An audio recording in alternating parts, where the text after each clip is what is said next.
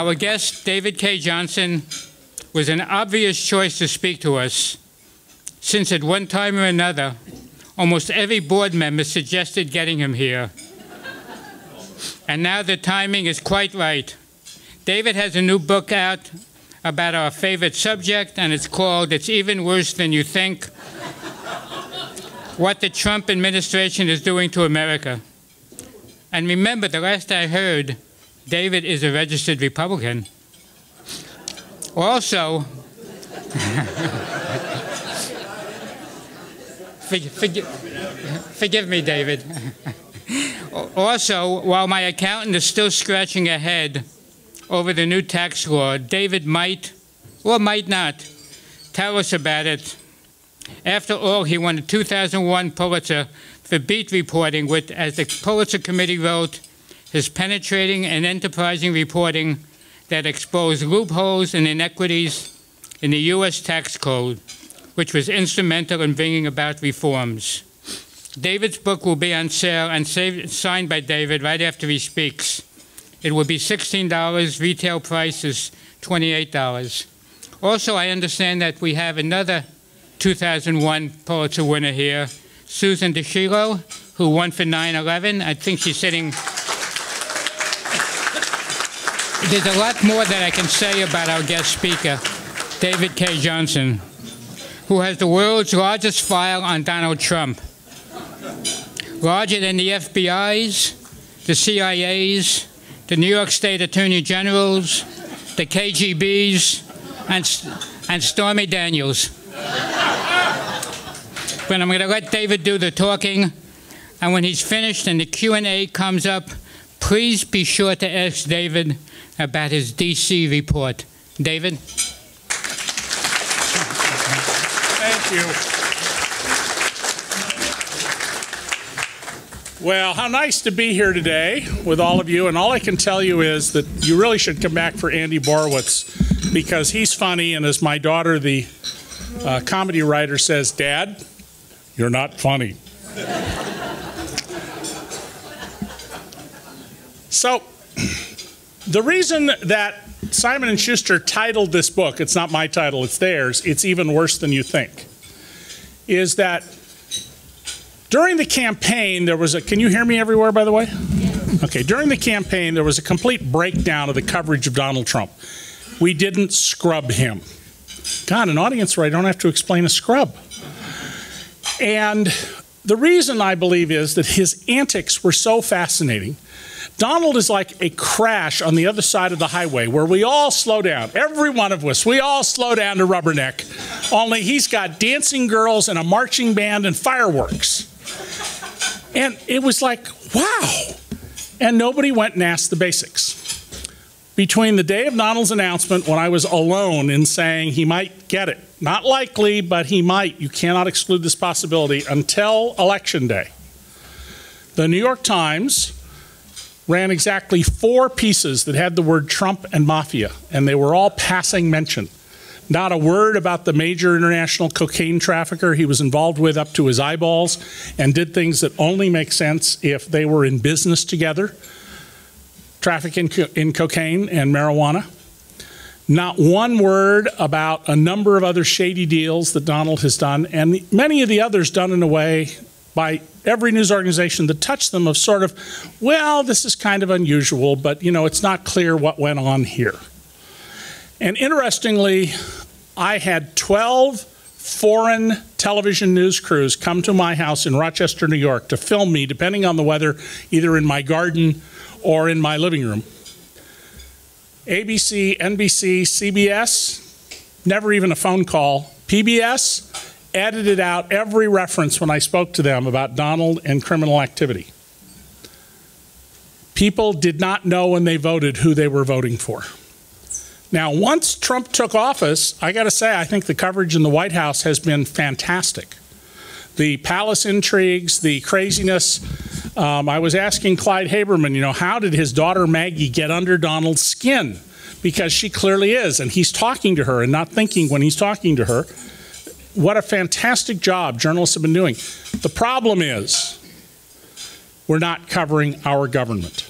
And notice that I call it our government the nonprofit news service that some friends and I created. No ads, we depend entirely on donors. I put money into it, I don't get paid anything.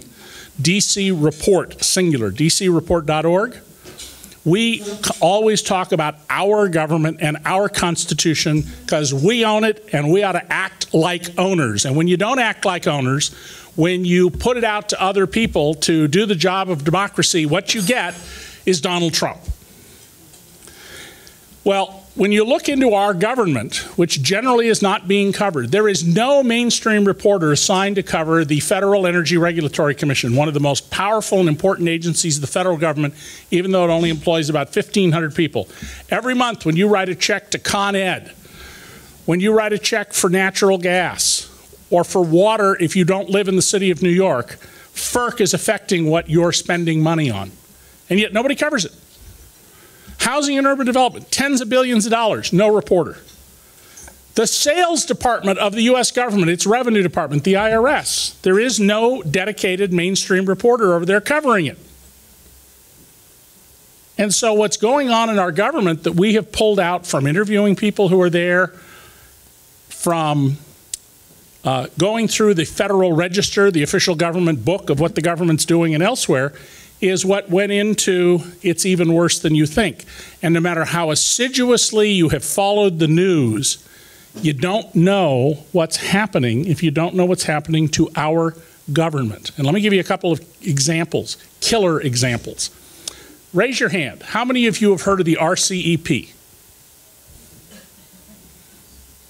One of the most important economic issues in the entire world, and it's uncovered in American news.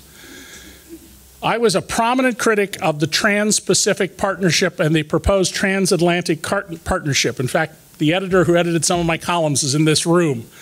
And uh, it was because that those deals, particularly the TPP, gave too much power to monopolists and reduced human rights. They're fixable problems. The Trans Pacific Partnership, which is 13 Pacific Rim countries led by us, was designed in part to contain China. Donald Trump comes into office, he kills the TPP, creates a vacuum. The RCEP then emerges. It is China's competing plan, the Regional Comprehensive Economic Partnership. Probably a few people in this room old enough to remember the Japanese co prosperity plan before World War II, or at least learned about it when they were young. Well, that's 15 Pacific Rim countries, not us, plus India. And in the fall, I traveled all over the world. I did 51,000 air miles over two months going around the world talking. And when I was in Australia, the thing I was struck by was this is the most loyal ally America has. Absolute lapdogs to us. Vietnam, anywhere else, whatever we do, Australia is like, yes, sir, absolutely. Uncle Sam, what do you need? Everybody I talked to, government officials, national journalists, uh, academic leaders at the University of Sydney and from a couple of other schools, prominent business people, the chambermaid for my hotel, all said the same thing. We have to begin pivoting away from Washington and toward Beijing because Trump's not doing anything and we want to have a prosperous future. And to quote Donald Trump, we have no choice. How is this not front page news in the United States? How is this not on the evening news? In the United States. I'll give you another killer example, one that may literally kill you. Remember these horrendous accidents we've had with trains and uh, where the conductor of the train or the driver of a truck or a bus has sleep apnea and suddenly falls asleep for a second and there's a crash and people die? I have sleep apnea. It's an entirely treatable affiliation, affliction the Obama administration said, well, we test airline pilots because we don't want them suddenly falling asleep when they're taking off or landing or moving the flaps. So let's test bus drivers, train conductors, and truck drivers. Trump came in and immediately killed this. People are literally going to die because of this. Now, there was one problem with the Obama administration rules, which is if you're not already working for a trucking company or you're an independent operator and don't have health insurance, it was going to cost you a lot of money. But that's a simple function of employers have to pay for the testing. Or the government will pick up the bill for the testing as a matter of public safety. But they've killed that rule. At the education department, Betsy DeVos, absolutely the most qualified education secretary in the history of America, someone deeply versed in theory of education, has taken the side of the bankers against the brains. What's the most valuable asset we have in America? It's young minds that need to be developed and given rigor. That's what creates wealth, is up here. That's what creates social stability. But Betsy DeVos brings in to deal with the student loan crisis the people who created it. This is not bringing in the, the fox to guard the henhouse because she told them to make changes. This is hiring the fox to redesign the henhouse to make sure the foxes dine well. now, in the book, I talk about what I call political termites. The Trump administration has loosed people you have never heard of people whose names in some cases are only very technically in the public record and put them into the government in all sorts of positions. And this isn't Donald. Donald is a lazy guy. I've known him for 30 years. During the campaign, you know, he would go, Hillary's really lazy. You notice she was out there every day, dawn to dusk, until she literally collapsed one day getting into a vehicle. What you didn't read was Donald Trump disappeared from the campaign trail for five days. He was at Trump Tower. Didn't see any stories saying, Where's Donald Trump? Donald Trump says she's lazy. Where are there no news stories saying, well, where is he? She's out on the campaign trail. They didn't appear. Nobody reported that. Partly because Hillary Clinton didn't say that. It's one of the flaws in, in journalism. Well, these political termites come from the industries that are supposed to be regulated by the various federal agencies. Why do we have regulations? A lot of people think this is a newfangled idea. It, you, you, can read in the National Review and places like it about how this is a modern idea, of regulation. You know, for nine years, I taught in the, I'm not a lawyer, but I taught in the law school and the graduate business school at Syracuse the regulatory law of the ancient world. Hammurabi's Code, the Old Testament, Egyptian law, Greek law, Indian, East Indian law, Chinese law, ancient Roman law. Everything is regulated. Baseball. I love baseball, but you know what? It's trivia at the end of the day. It doesn't matter. Baseball regulates how many stitches are on the ball, the color of the yarn, the color of the hide, the weight of the ball. Universities now regulate dating. I always bring up my students. This university regulates dating. How do they do it? And I get these until suddenly, finally, it's always a female student says, Oh, you mean sexual harassment? And I go, That's right. When is it dating and when does it become sexual harassment? We regulate this. And then we have a discussion about, you know, when do you, what, what crosses the line? And there is no bright line. It's a, as the lawyers like to say, facts and circumstances test. This administration announced openly to everybody that it was their intent to destroy our government. Steve Bannon was clear as a bell. I am a Leninist. What is a Leninist? My goodness, this is a room of people I don't have to explain that to. Thank goodness. Trust me, when I go and speak in places like Michigan, I got to explain what a Leninist is. We are going to, he said, deconstruct the existing order you know, highfalutin talk for we're going to destroy the ability of the U.S. government to protect you, to protect your children or grandchildren or great grandchildren, to make sure that when you open a can of tuna, you don't worry you're going to get sick and die. We're going to destroy all of that. And at agency after agency that I go through in the book, they have been doing exactly that. They've compromised records in some agencies, which means that they cannot use those records in criminal proceedings, which are rare, but they're also subject to attack in civil proceedings. The Labor Department has for years put up every single worker death on the internet. About 4,800 Americans a year are killed on the job. The Trump administration, I mean, the Obama administration began putting up press releases to shame those companies where deaths weren't the result of the sort of inevitable accident you couldn't see, but the result of bad practices. Because the fines for killing a worker are bupkis. Well, we wrote about it at DC Report, and then they started putting them back up. I can't prove one caused the other. I can only tell you the order of what should happen. And then they stopped again.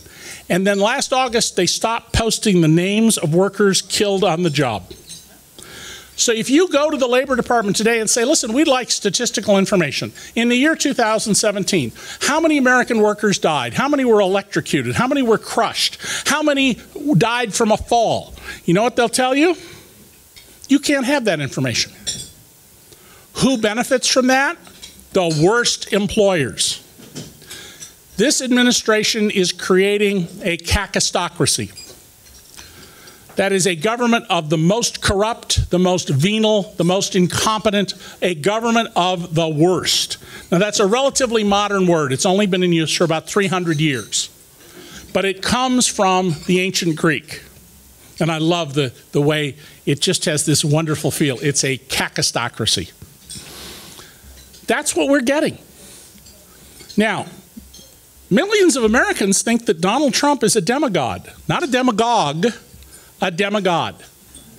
They believe he is their savior. They believe he's the only person who's looking out for them. What I show in the book is that the minute Donald Trump finished speaking about the forgotten man, he forgot about him and he has turned on him. Everything from saying we want the checks that go to disabled veterans to be reduced by rounding down. It's not a lot of money. You know, the most you can lose is 99 cents every month. But the symbolism of this rounding down. Disabled veterans. My dad was 100% disabled veteran of World War II, so I went to college on the GI Bill, even though I never served. And what do they propose to do with disabled veterans? Well, for many of them, the first Trump budget said when you reach retirement age, we're going to cut your income from $35,000 a year to 13. Just remember that the next time you see a video where Donald Trump goes, I love the veterans. Nobody loves the veterans like Donald Trump. You know, we all love our veterans, don't we? I love our veterans. No, you don't. No, you don't. Now, that will never become law. Congress will not allow that, but that's not the point. The point is that's what they want to do. This is a party of uh, backing up Trump now that says we want to have individual freedom and individual choice, except if you're poor when it comes to eating, in which case we're going to send you a box and tell you what you're going to eat. This is a party that says you have to go through extensive checking to see if you're allowed to vote, but if you want to buy a weapon of mass murder, just walk down and buy one. I mean, look what's happened in Florida yesterday, where they turned down in Tallahassee in the House of Representatives a proposal that would have just led to debate on should we allow these weapons of mass killing, which have no place in the world except on a battlefield or possibly in some cases with the police. They're not useful for hunting, they're not good for target practice. And by the way, I say this as somebody who has owned many guns who's been shot, luckily with a rubber with a plastic bullet, and who took the LAPD's combat training course with no notice and scored a 98.9, killed both bad guys with three bullets. Maximum score you can get's 100. We need to recognize in this country that we have made a terrible mistake. Now, one of the things that's happening in our country, though, is that Trump fatigue is setting in. I encounter people. I've been traveling all over the country now since January 16th. I'm going to go to Europe in April. I've got a heavy schedule of talks, and I'm trying to book as many more as I can, just as I did with the making of Donald Trump. And again and again and again, when I speak to audiences, I have people who say, Well, I was trying to get my, my grown son or my husband or my uh, next door neighbor to come, and they just said, I don't want to hear any more about Trump. I just don't want to hear any more. And they're turned off. And what's even more alarming is a fair number of these people say that the people that they tried to get to come say they're not even going to vote in the next election. At the end of the day, all that matters is voting. This country was created on an idea that if we ennobled the human spirit and set it free, we could see what human beings are capable of accomplishing. It was founded by people who were just like us. There were mensches and there were bastards. There were drunks and there were ascetics. But they were all reasonably well educated, and most of them, especially those involved in framing our Constitution, had studied their classical period history. Adams and Madison wrote that what they thought would be the greatest danger to the future of America, and they both, by the way, wrote about the period after, interestingly, 1930, because they did some math on yeoman farmers, that what would destroy this country would be extreme inequality. They wrote about what I have condensed down to a business aristocracy. And they warned that in the future, if many, many people were pure wage earners. If they did not own any property, they did not own the land to farm or the tools for their trade, but instead worked for someone else and had no property, that they would have no understanding of property. And they would be deceived by this business aristocracy into voting for policies that were inimical to their interests and actually benefited the business aristocrats, which it seems to me is a reasonable description of what's gone on in this country in recent years. Now, we need to appreciate that the people who voted for Donald Trump have real grievances, and we as a country have to address them, or that, not Donald Trump, will be the end of our country. Donald Trump ran for office on the David Cay Johnston economic platform.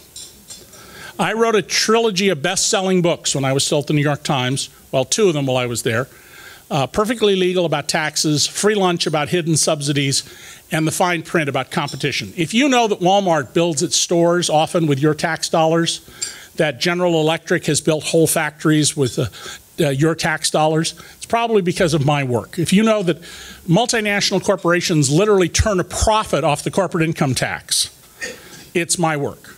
We were the first to report at DC Report that this tax bill that all the major papers said, oh, Apple's going to pay $38 billion in taxes. If the reporters had read the bill, they would have realized that Apple got an eight year loan at zero interest for $38 billion, and it was going to pay 3 billion this year, and they would pay 25% or 9.5 billion in the last year of the loan, 2025. Little bit different than Apple's going to pay $38 billion in taxes. When my trilogy was done, I gave interviews in 2012 in which I said the bottom 90% of Americans' incomes are lower today than they were in 1967, the year I finished high school. And the data that came out later substantiated that. People got 51 and a half weeks income for every for the 52 weeks in 1967. If you're in the bottom 90%. People at the 95th percentile level, their incomes hardly went up after all those years people at the top? Well, there are various ways to measure it, but one of the ways to measure it is what happened to the income of that bottom 90% in 2014 when they were ahead a little bit. And if we treated that as a shoebox, where they would be ahead $5,500, and we put the shoebox here on the table on end, how did the top 400, oh, from 1961, I'm sorry, 1961, they were $5,500 ahead. What if, how did the top 400 tax returns do? People who turned in the 400 biggest tax returns. Well, they had more boxes with $5,500 each in them after taxes. They had enough boxes that they would go up through the ceiling. They go through the roof of this building, 28,600 feet into the air to one box. People in the bottom 90% are pissed, and they should be. Their unions are gone, their pensions are gone, their stability is gone, and people in the bottom 50% literally live in a state of economic terror. I live in Rochester, New York, a city where Business Week did a cover story in 1967 about the richest city in America. Xerox 914 machine, Kodak, Bausch and Lomb, Gannett newspapers, a whole bunch of other companies. Today, statistically, Every sixth person you meet in the city of Rochester lives at less than half the poverty level. We have families in Rochester with four people who live on less than $1,000 a month. We have hundreds and hundreds of homeless kids in Rochester, the richest city in America 50 years ago, who are homeless. They get by by couch surfing. When the weather's warm, they sleep under railroad bridges. And what is our policy? Donald Trump got us a tax bill. A tax bill that today's New York Times tells me many, many people think is good for them. And in the short run, it is. And I said so before it was passed. That in the short run, ordinary people would go, hey, I haven't had a raise in years. I suddenly got 20, 30, 40, 50 bucks a week more in my paycheck. This is a big boon to me. But over 80% of the benefits go to the 1%. By the way, a little fact to tuck away about the 1%, so I'm in the 1%. The bottom half of the 1% are two income couples who work all year to make $400 to $600,000 a year. They're making a lot of money. I'm not feeling sorry for them, but they're not coupon clippers. They're highly paid workers. More than half the benefits go to people who make over $2 million a year. Now, the Republicans have made very clear, and Donald Trump is with them on this, that America has a very clear, obvious economic problem. And the Republicans have identified it very clearly. They're not going to use the words I use, but when I say them, I don't think anybody will dispute my interpretation of them. The reason we don't have enough jobs in America, the reason the infrastructure is falling apart, is the rich don't have nearly enough. And unless the rich have more, they won't invest and they won't create jobs.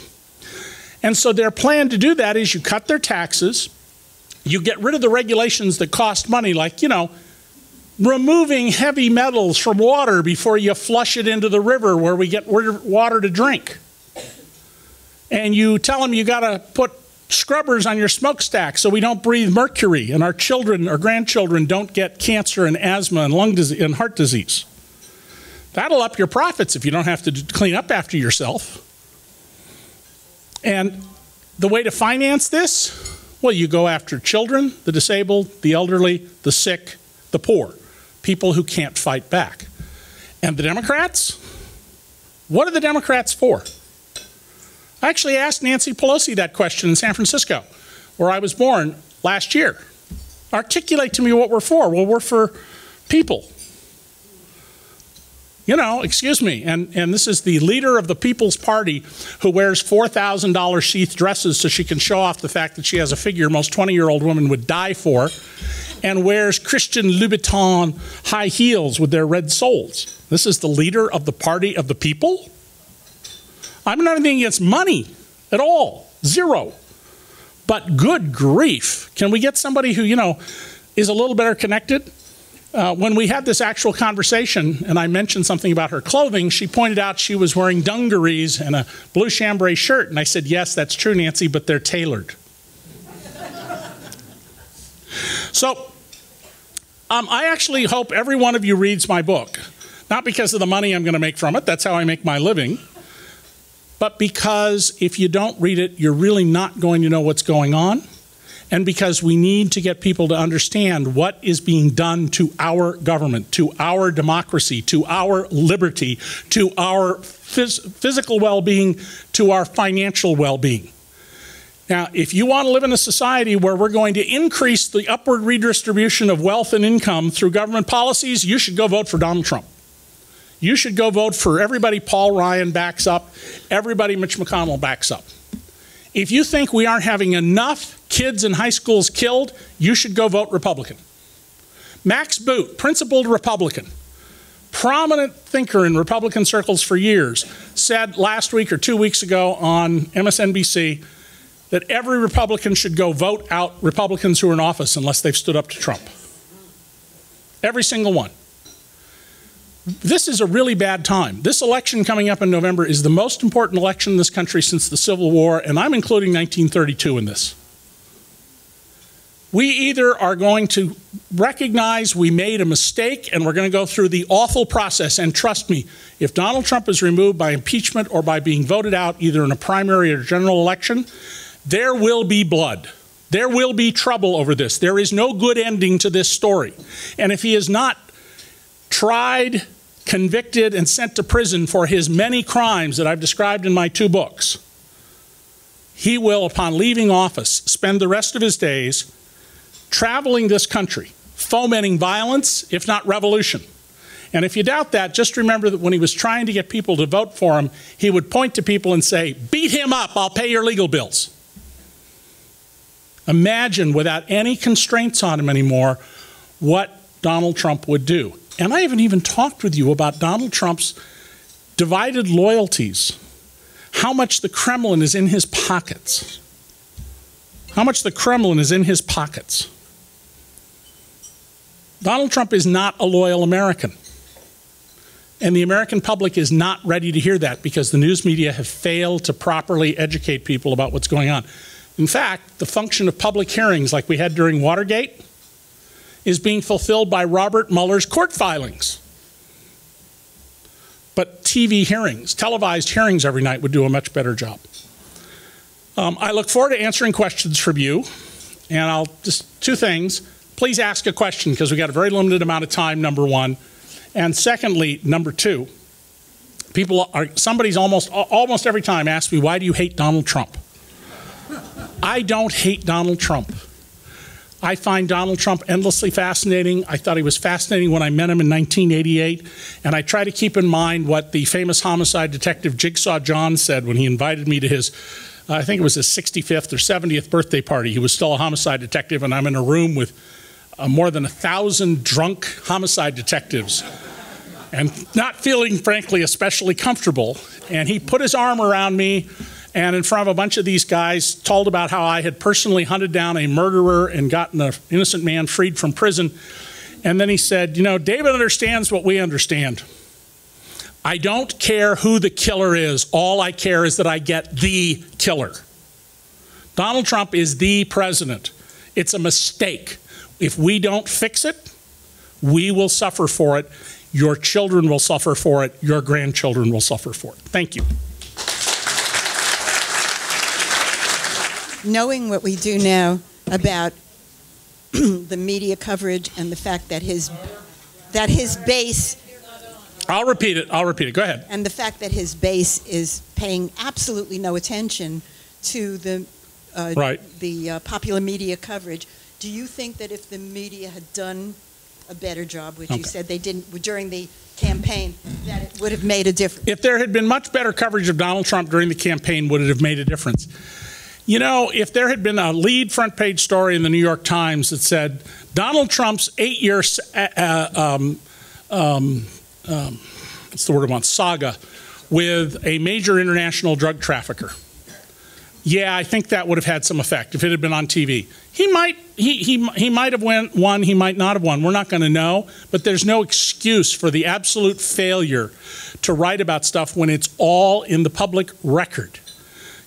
12 foreign national 12 foreign television crews come to Rochester, New York to my house to film me. And I get one phone call from the New York Times about a, a document, which I didn't happen to have, but I would have given. Um, Washington Post, you know, half a dozen phone calls, gave them maybe 100, 200 pages of documents they asked for. The coverage was just appalling. And I, we're not going to know. We're not going to know, but hopefully people are beginning to see that we've made a mistake we're never, the people who are racists are always going to be with Donald. Okay, we're going to basically the next uh, election, if Donald runs, we're going to tell you exactly how many people in America are really racists. Hey, David. Uh, I heard Fran Lebowitz on Bill Maher's show last week. She's just the most recent person to state the possibility that Trump would really just, he hates the job, he sucks at it, that he would find a way to quit. Can you see a way forward? No, that Donald Trump will never resign. His ego will not allow him to. Donald believes, and Donald has believed this for decades, that he should be the president of the United States, but he believes the president of the United States is a job of a dictator. Just listen to his language. But no, the, the only way Donald would resign is a serious health problem, and then I doubt that he would resign then. Hi. Hi. Uh, because the media has been almost willing to cover every tweet that Donald Trump puts out, which is multiple times a day. And is that the reason? Because he is completely distracting us that we have not covered policy and things that are important to the American people? Well, Donald Trump's use of tweets is, in fact, very well calibrated and thought through to get us off of what he wants us to be off of and onto what he wants us to be onto. That's part of it. I mean, Donald is, is not a, a complete buffoon. He's ignorant. Uh, he's not a strategic thinker. Uh, he's very much driven by emotion. But he's a master con artist. He's the greatest con artist in the history of the world. And he knows how to get you off what he wants you off of. The reason, however, government isn't being covered is newspapers. You know, the, you know what the fastest disappearing white collar job in America has been since 2000? It's in the Labor Department data. We're it. you know, we're it. I'm lucky. I got lots of work, but most people aren't. So it's part of it. Mike? There's a man whose question I want. I, I fear. Oh, No, I- no, he, over here first. Sorry to uh, intrude. Uh, you're a wordsmith, and you've already been dealing There are with. editors who would challenge that. Well, I, I've been an editor and a report and a writer, uh, so I know both sides. Uh, and then there was a, frankly, we kill all the editors first. That's was a, a, motto uh, at my old newspaper. Um, but you've been dealing with Trump fatigue, and you know the decline in newspapers. And I was, and you dealt with Nancy Pelosi with her four thousand dollar clothes. And uh, I'm curious uh, because in the Times and Sunday they had an, a letters to the uh, editor page where they entreated people to spell their messages that they wanted the Democratic Party to use. I was curious, in your you know expertise, what message would you format? How would you express what has to be expressed in within the elevator pitch length that you were only given in today's media, or rather today's consciousness, Not- to not- get through? Or was that a different approach you would take? Well, not to be a cop out, but you know, I'm an investigative reporter. I'm not a political advisor, okay? But the message broadly has to be from the Democrats here's what we're going to do for you. Here's how we're going to get your incomes up. Here's how we're going to make the get rid of the pothole tax. You know, every time you get a front end alignment, that's the pothole tax you're paying. There's no free lunch here. Um, we're going to get better education, et cetera, et cetera. They've got to, in a, in a way that resonates with people, connect with them, and they need that's advertising and that's marketing. And that, that's what they need to do. They've got to distill this down to messages and copy Donald Trump on one thing, you know, I love you. That's unbelievably effective.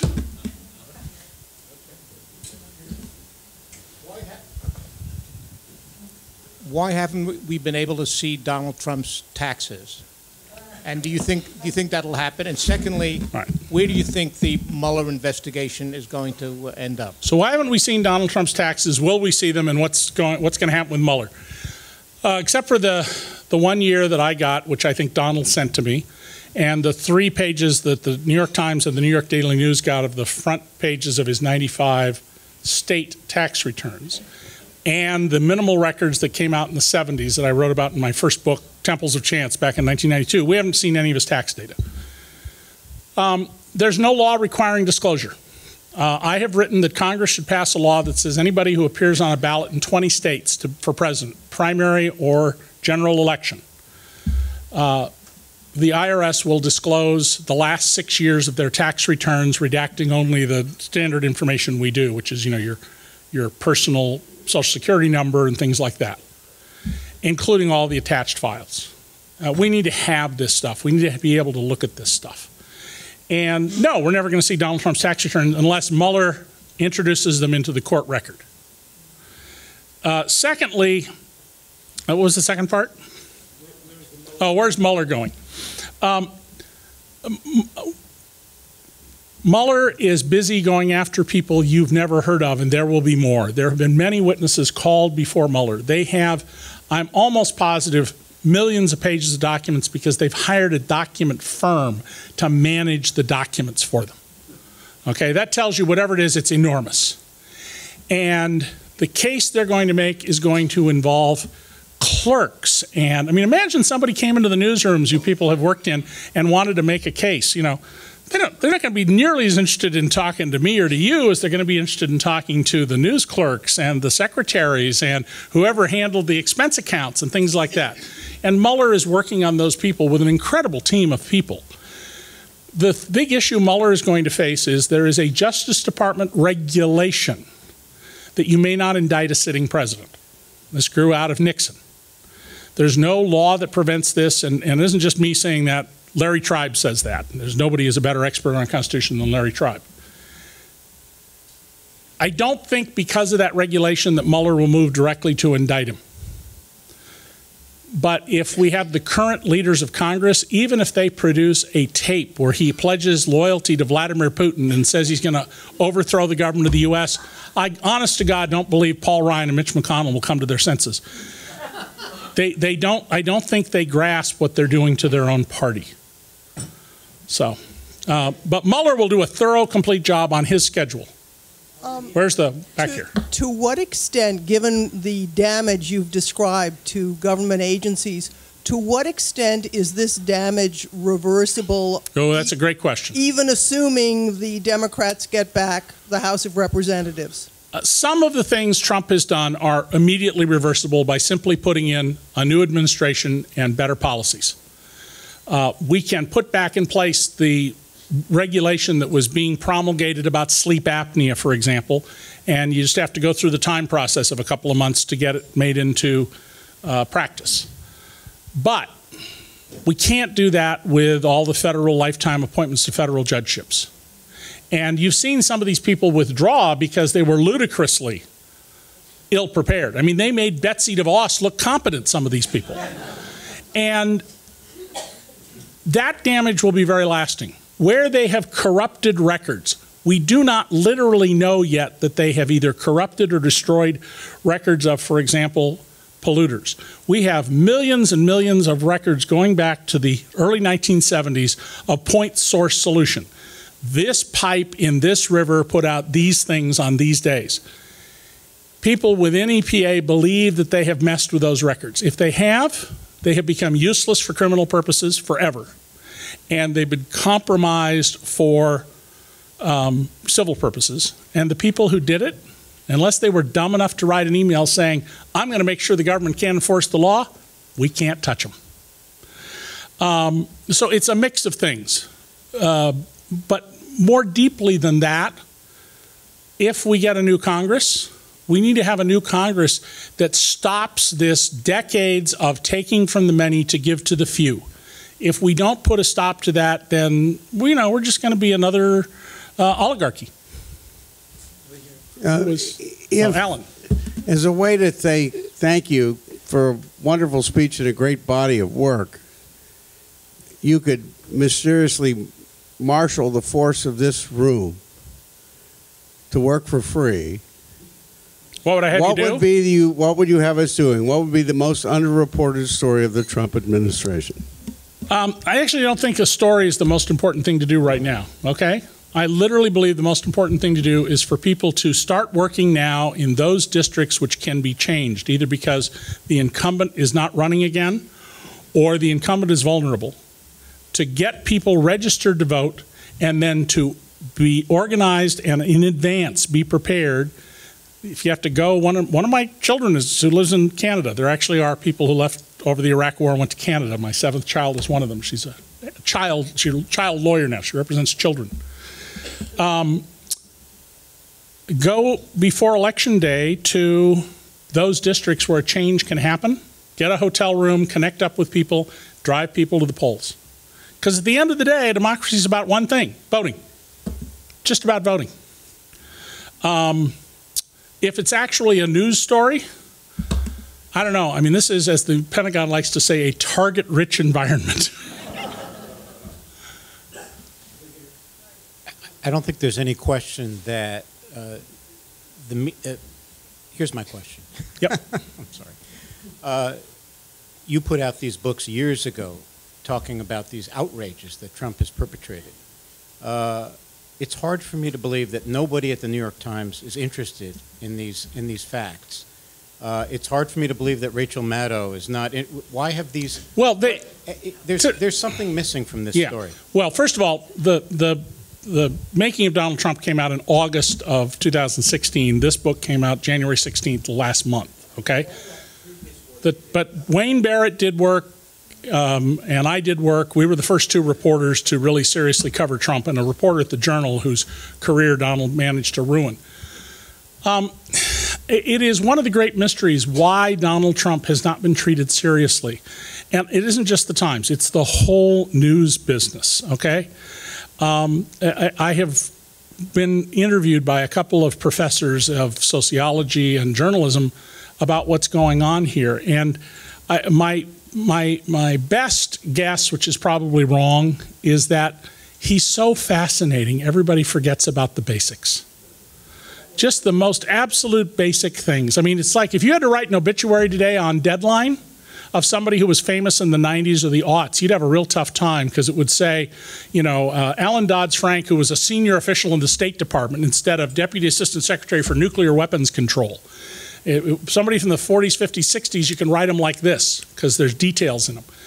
And as we've gotten into telling narrative, and in addition to that, remember two things. Donald Trump makes everybody sign a non disclosure agreement. Even volunteers in his campaign, in many cases, had to sign non disclosure agreements that included a lifetime prohibition on ever saying anything negative about Donald Trump or his family.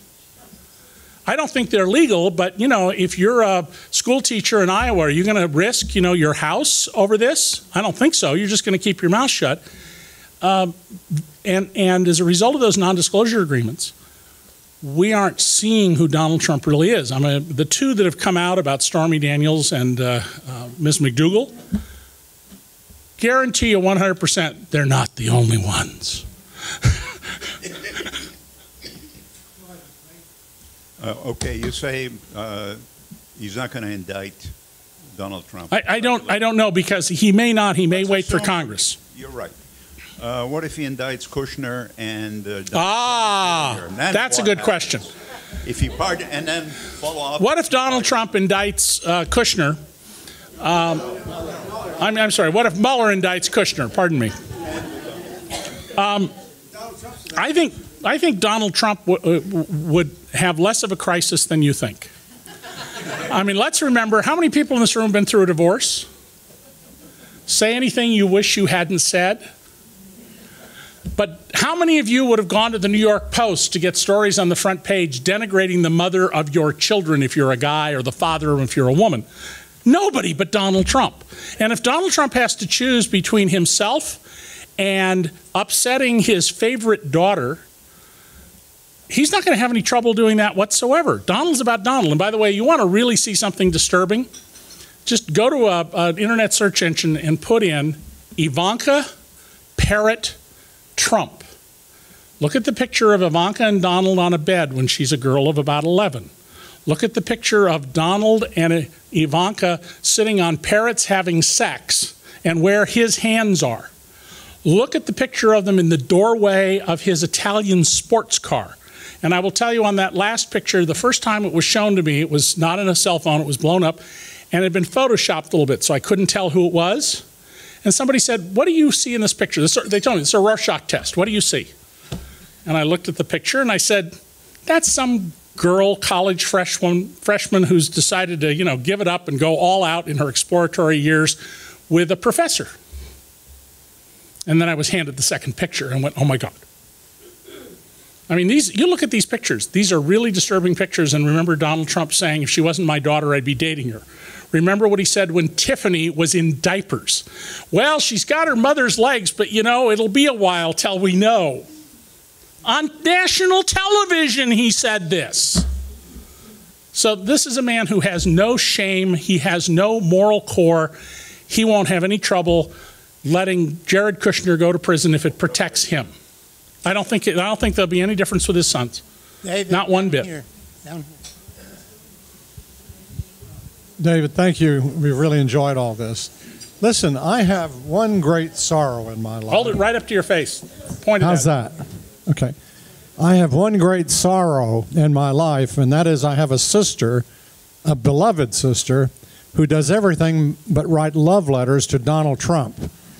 And my question is Is there any way that we can penetrate this chamber, echoing the voices of Limbaugh and Hannity. Yeah. Um, what can it. we? How do how do we put a voice in there? I got it.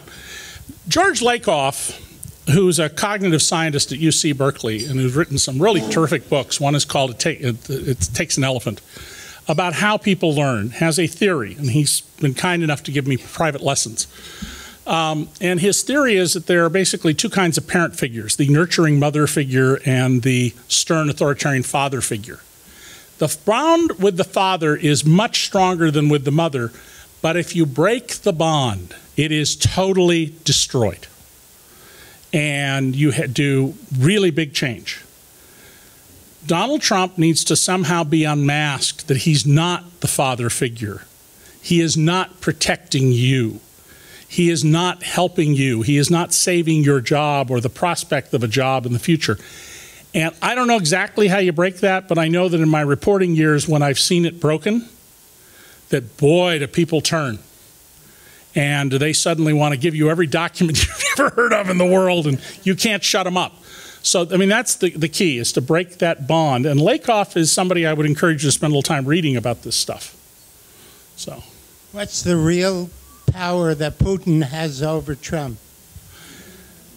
well, you know, if you read transcripts of mob soldiers who don't know that they're being recorded, it's amazing how much the uh, syntax follows what you hear Donald Trump say about Vladimir Putin. I mean, it's just amazing. It's like, you know, somebody says, Oh, did you see that skanky woman at the club the other day? No, that's the boss's new girlfriend. Oh, her? No, no, she's beautiful. She's wonderful. Oh, my goodness. Yeah, no, no, I wouldn't say anything about her. My God, what a lucky man he is. Think about how Donald speaks, okay?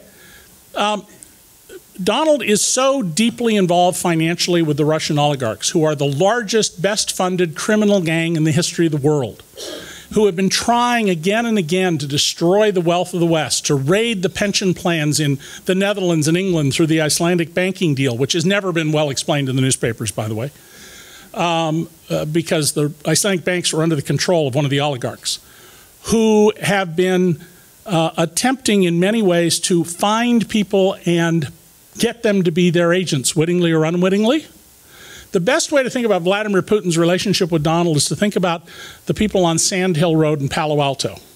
You know, Perkins, Kleiner, and those other VC firms, venture capital firms. People pitch them a thousand ideas. They fund a hundred. 95 of them are total busts. They lose every penny. Four of them make back the money the 95 lost. And the last one is Google or Amazon, or if you're Vladimir Putin, Donald Trump. And while Donald Trump was not exactly who Putin wanted. What he didn't want was Hillary Clinton.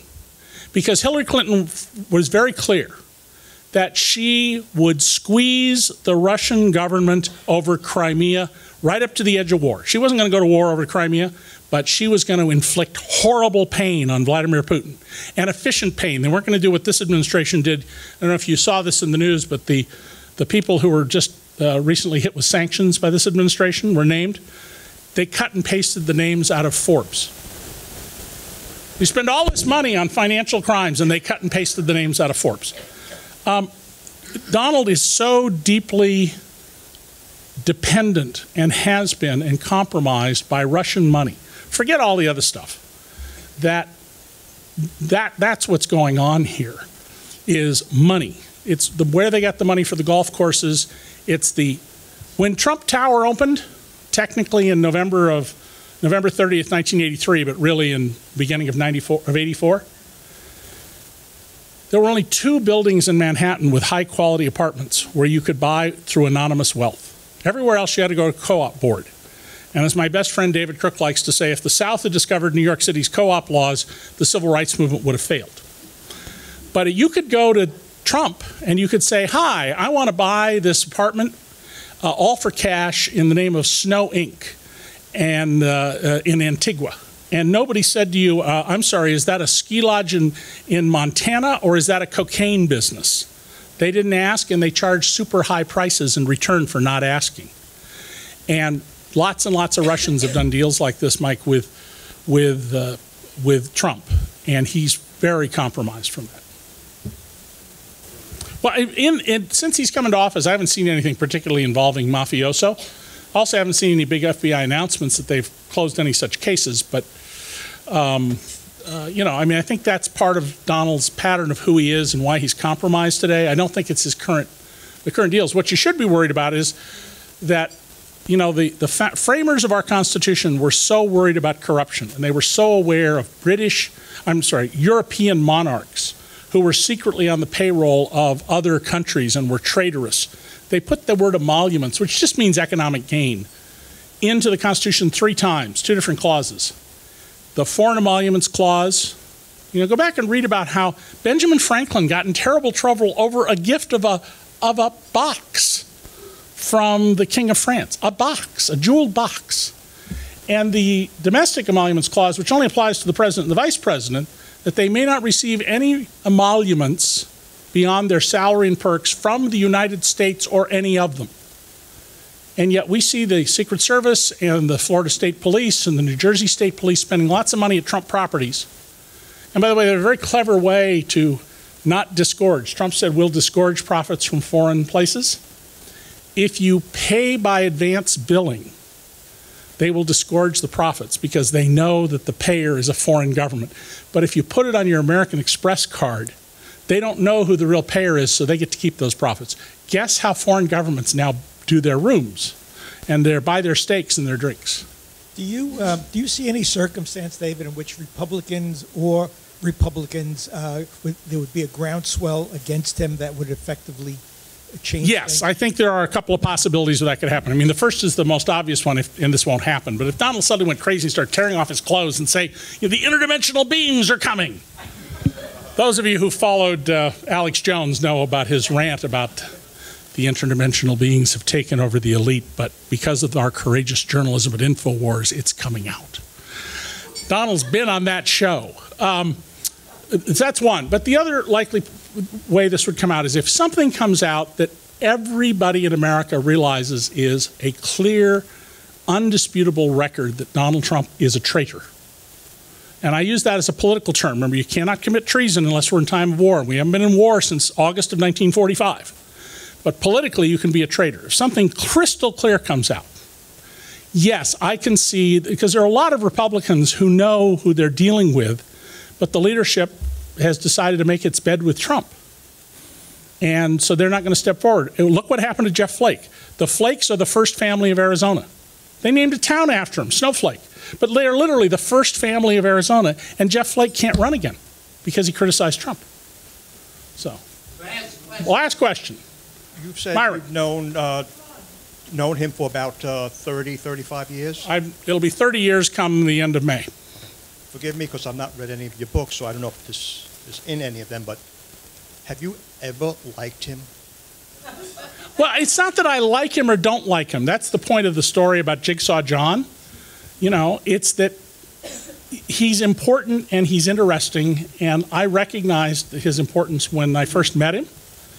And and so, you know, he's like Daryl Gates, the police chief in LA, who, you know, had officers sleeping with women and undercover officers in Moscow and Havana.